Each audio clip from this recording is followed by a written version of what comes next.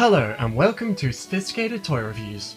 I am Sir George Rumpelstiltskin, and today on Sophisticated Toy Reviews, we will be looking at My Little Pony buildable vinyl figures. Here we will look at the packaging and then open it and judge it. First, we will look at the packaging. Here we can see our six main characters, Rainbow Dash, Fluttershy, Applejack, Twilight Sparkle, Rarity, and Pinkie Pie, and for some reason off to their side another Pinkie Pie, which does feel a little redundant. Here in the corner, we can see that there are six to collect, and if we are to assume that the six are the six on the cover, inside this packaging is one of the six of the main variety. On the back, we can see all the generic warnings and safeties. Here we can see children 0 to 3 years old are not allowed to use this product, and over here we can see that children who are 3 years or older are allowed to use this product. Children who are at 3 years old will have to speak to their parental advisor to see whether or not they are fit or suit to use this toy. We will now proceed to open this package and look upon the toy inside. Now, since we are so sophisticated, we have opted not to use a pair of scissors, but a skewer. Let us... Hold on.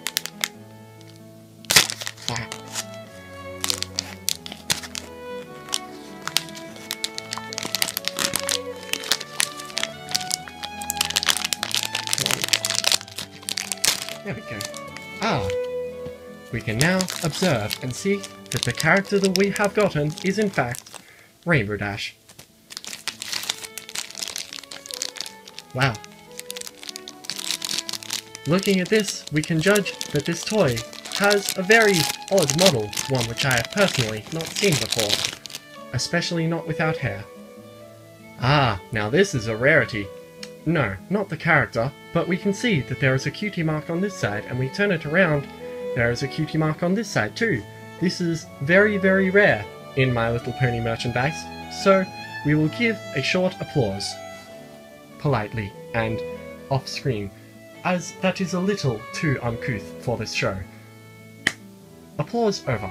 Now we will proceed to open the hair and tail, put it on this pony, and see how well it looks. We will again use our skewer.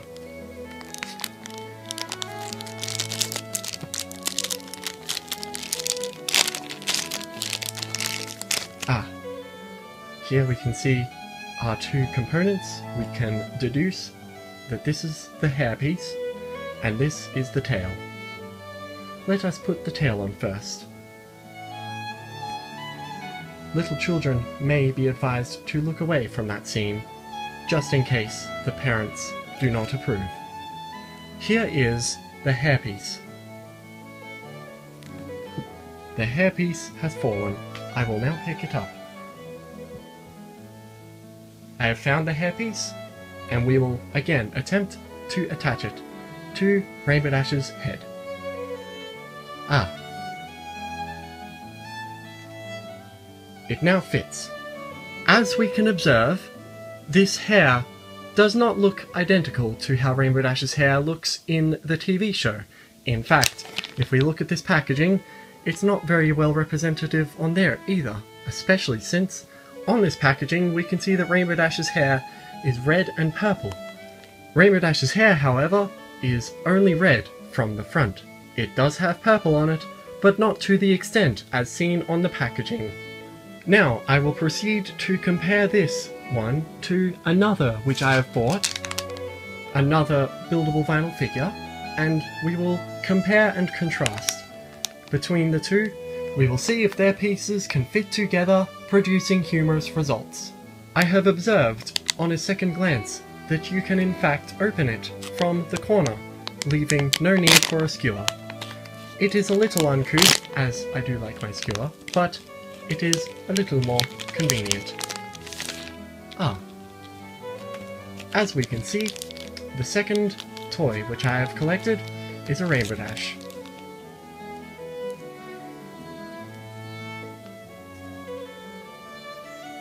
Ha! I have never laughed so much in my life. We can confirm that on the second toy, this hair is still in fact really hard to put on, which we shall deduct a point from the final grade. 4. We now have both ponies in their completed form, and we can conclude that their appearance is very similar, due to the fact that they use... Si oh. We have confirmation that the hairpiece is in fact not very stable when moving about, even with my delicate hands. On the inside of the packaging, I have observed that there is in fact a piece of paper which shows again what is on the front of the packaging, our six ponies in a similar orientation, even with the excessive, redundant second Pinkie Pie, and we can take a look at the back, which in fact has many warnings in many different languages. And we can also observe that here it says only children which are 3 and above, but not specifying the children 0 to 3 not being able to use it. It is a little ambiguous, unfortunately. Here we can conclude our sophisticated review with... It fell off again. Here we can conclude our sophisticated review.